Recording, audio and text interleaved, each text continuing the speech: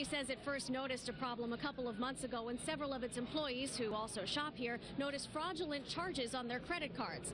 That's when the company says it launched an investigation. As soon as we found out, we posted it on our website to make sure that all uh, of our customers were informed.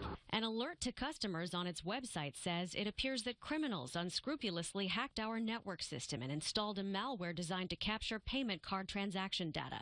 Credit security expert Paul Oster says what's troubling about that is, unlike other breaches, the theft was happening in real time. This was uh, capturing the data as it was being transmitted to the banks for approval.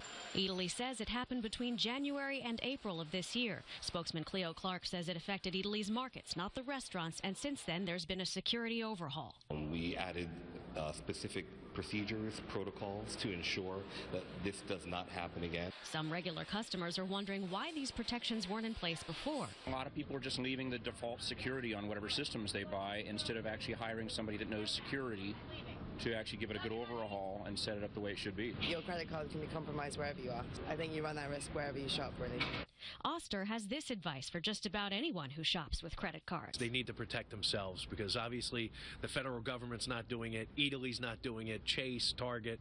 So get involved in a credit monitoring program. And the unfortunate reality is hackers rarely get brought to justice.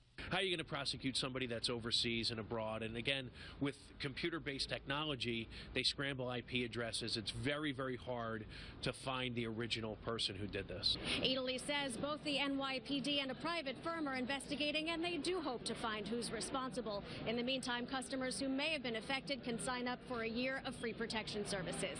In Chelsea, Sonia Rincon, CBS 2 News.